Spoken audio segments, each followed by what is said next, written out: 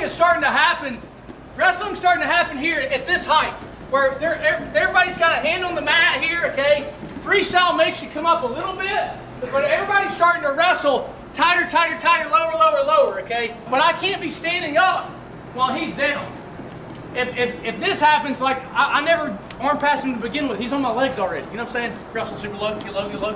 If I try to wrestle this height, as I move, like by the time he could touch me on the shoulder, he was, he'd already be on my legs. So I've got to play the game honestly. Here, so we're both low, and he, he gets a hand on me here while we're low, and as I come up, I'm thinking this, but he's, he's going to down block, he's going to bail, and that's where I'm bicep snatching. Are y'all with it? You know, y'all understand what I'm saying here? Play the game realistic. What's the real look you're going to get in a match?